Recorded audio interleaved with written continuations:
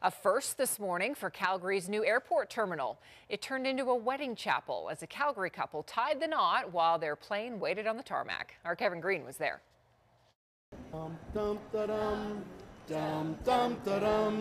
It wasn't exactly wedding bells at YYC. The crowd hummed the bride down the aisle.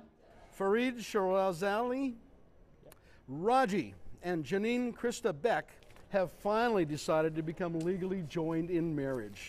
The pair met almost a decade ago working at Home Depot and started dating in 2012. And you say, With this ring, With this ring, I do thee wed. I do thee wed. I will love you I will love you brighter brighter than these diamonds shine. than these diamonds shine. Wednesday, they exchanged vows inside Calgary's international terminal. Will you always respect his dignity and his own personal rights? And let him play with electronics and hang out at the Apple store occasionally?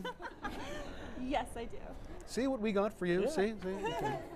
They originally wanted to get hitched on board an aircraft in the sky, but security regulations made that too difficult.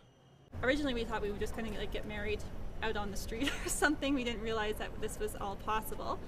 With the help of their marriage commissioner, Sunwings Airline, and the Calgary airport, the couple was able to exchange vows inside the terminal while their plane waited on the tarmac. It's different. Yeah, it's something different. that doesn't. How many people do you know that get married at the airport? Yeah, right? exactly. Or the non. Think of traditional, we're the opposite. Yeah. This is the first wedding held inside Calgary's new international terminal. Marriage Commissioner Rourke Hilford says the airport made it easy. No is not in uh, YYC's vocabulary. I now pronounce you legally married, husband and wife, and you may now kiss the husband.